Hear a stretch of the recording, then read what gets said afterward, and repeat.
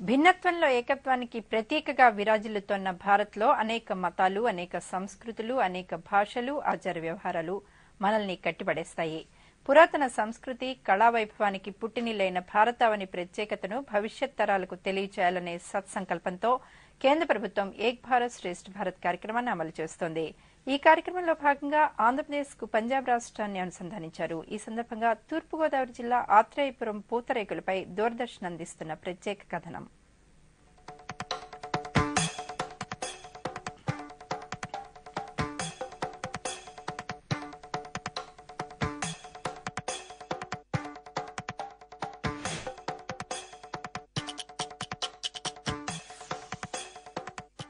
భిన్న సంస్కృతులు భిన్న భాషలు అనేక మతాలతో భిన్నత్వంలో ఏకత్వానికి ప్రతీకగా నిలుస్తోంది భారతదేశం. పురాతన సంస్కృతి కళా వైభవాలను నేటి తరాల్లో పాదుకొల్పే లక్ష్యంతో కేంద్ర ప్రభుత్వం చర్యలు చేపట్టింది. కళలను సాంప్రదాయాలను కాపాడుకోవడంతో పాటు మానవ సంబంధాలు మరింత బలపడేలా చేయాలని సంకల్పించిన కేంద్ర ప్రభుత్వం ఏక్ భారత్ శ్రేష్ఠ భారత్ కార్యక్రమాన్ని రూపొందించింది. కేంద్ర రాష్ట్ర ప్రభుత్వాలు సంయుక్తంగా ఈ కార్యక్రమాన్ని నిర్వహిస్తున్నాయి.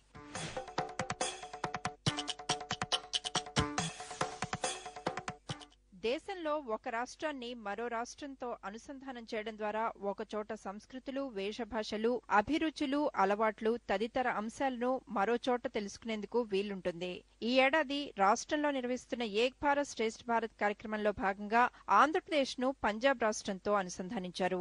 ఆంధ్రప్రదేశ్ సంస్కృతి సంప్రదాయాలు ఆహారపు అలవాట్లను పంజాబ్ వాసులకు తెలియజేసే లక్ష్యంతో ఆంధ్రులకు అత్యంత ప్రీతికరమైన పూతరేకులను మీ ముందుకు తీసుకొస్తున్నాం Thank you.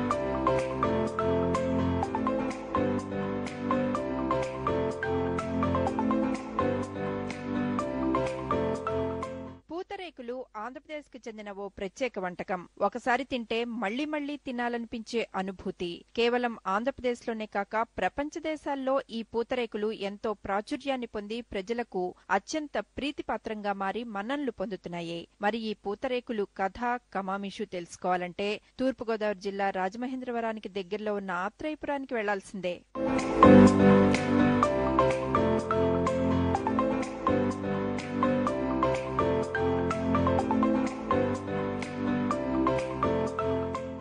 పచ్చని ప్రకృతి నడుమ రాజమహేంద్రవరానికి ఇరవై నాలుగు కిలోమీటర్ల దూరంలో గోదావరి అందాలతో విరాజిల్లుతోంది ఈ ఆత్రేయపురం. అత్రిమహాముని ఈ ప్రాంతంలో తపస్సు చేయడంతో ఆ గ్రామానికి ఆత్రేయపురం అనే పేరు వచ్చిందని స్థల పురాణం ద్వారా తెలుస్తోంది.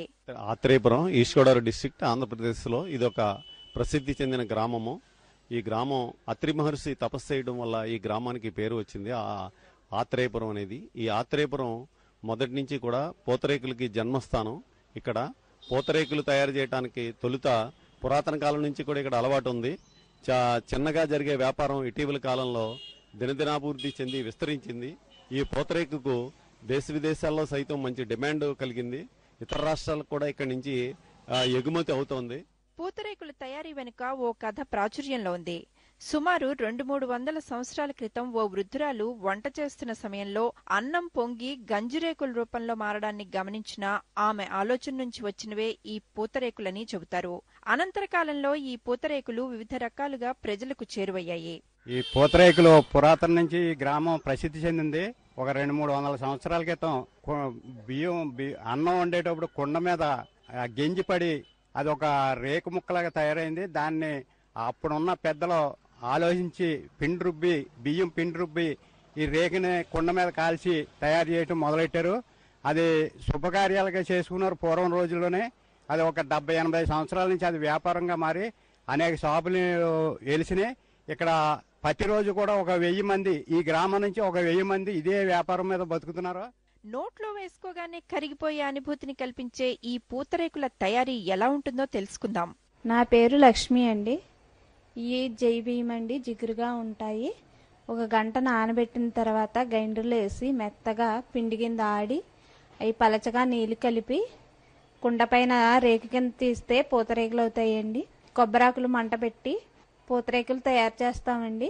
ఈ మూడు సార్లు బియ్యానికి రెండు వందల రేకులు వస్తాయండి. మా ఊరి ఆడవాళ్ళం అందరం ఇదే వృత్తి చేస్తామండి. పూతరేకుల తయారీకి మట్టి కుండను వినియోగిస్తారు. ఈ కుండ నున్నగా గుండ్రంగా ఉండేలా చూసుకుంటారు. ఆ కుండ మూతివైపు మంట పెట్టేందుకు వీలుగా పెద్ద రంధ్రాన్ని చేస్తారు. జిగురు తత్వాన్ని కలిగిన బియ్యాన్ని రెండు గంటల పాటు నానబెట్టి మెత్తగా చేసుకుని సిద్ధంగా ఉంచుకుంటారు. దీనిని జాలువారే మిశ్రమంలా రూపొందించుకుని దానిలో ఓ మెత్తని వస్త్రాన్ని ఉంచి కుండపై పల్చటి పొరలా ఉంచుతారు. దీంతో వేడిసెగకు అది రేకులా తయారవుతుంది. ఈ రేకుల్లో నెయ్యి జీడిపప్పు బెల్లం బాదం పప్పుల మిశ్రమాన్ని వేసి పొరలు పొరలుగా మడత పెట్టడంతో పూతరేకు సిద్ధమవుతుంది. తొలుత కేవలం బెల్లం నెయ్యితో సంప్రదాయ రీతిలో అలరించిన ఈ పూతరేకులు ఆహార ప్రియులను అలరించేలా వివిధ రుచుల్లో అందుబాటులోకి వచ్చాయి వీటిలో పంచదార పొడి డ్రై ఫ్రూట్స్తో సహా విభిన్న రీతుల్లో రూపొందిస్తున్నారు.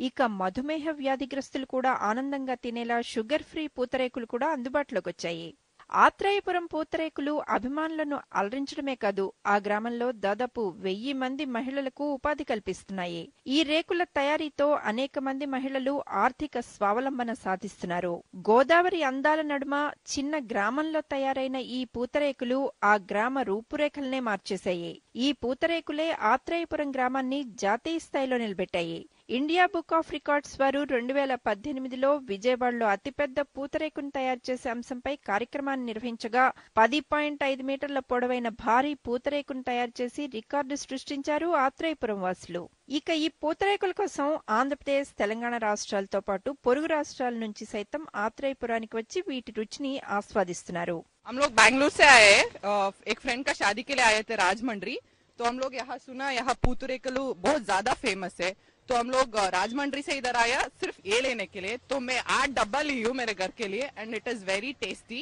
చాలా బాగుంది and So Atrayapura is one of the place where they make uh, traditional sweets, and uh, this shop has got a world record of longest putrekulu, and he has won the record. So that's why we are here. So అయితే ఇక్కడికి వచ్చినా తెలిసింది ఇక్కడ longest India books of record లో వీళ్ళు win అయ్యారని so ఇక్కడ ఎలా ఉంటుందో టేస్ట్ చూద్దాం వచ్చాం చాలా అంటే చాలా బాగున్నాయి ఒక స్వీట్ తిందాం అనుకుని వచ్చి మేము ఆల్మోస్ట్ ఒక పది బాక్సులు తీసుకెళ్తున్నాం. సో అంత బాగున్నాయి. ఢిల్లీ ముంబై బెంగళూరు చెన్నై వంటి నగరాలకు సైతం ఇక్కడి పూతరేకులు సరఫరా అవుతున్నాయి. ఇక సినీ రంగ ప్రముఖులు ఎవరైనా ఈ ప్రాంతానికి వస్తే ఖచ్చితంగా ఆత్రేయపురం పూతరేకులను రుచి చూడాల్సిందే. ముఖ్యంగా స్వీట్స్ ప్రేమికులు ఈ ప్రాంతానికి వస్తే ఆత్రేయపురం వెళ్ళాల్సిందే. పూతరేకులు తినాల్సిందే. ఆత్రేయపురం చేరుకోవాలనుకునే దేశ విదేశీ పర్యాటకులకు అతి సమీప అంతర్జాతీయ విమానాశ్రయం హైదరాబాద్లో ఉంది. హైదరాబాద్ నుంచి ఆత్రేయపురానికి దాదాపు నాలుగు వందల అరవై ఆరు కిలోమీటర్ల దూరం. అయితే రైలు మార్గం ద్వారా రాజమహేంద్రవరానికి చేరుకోవచ్చు.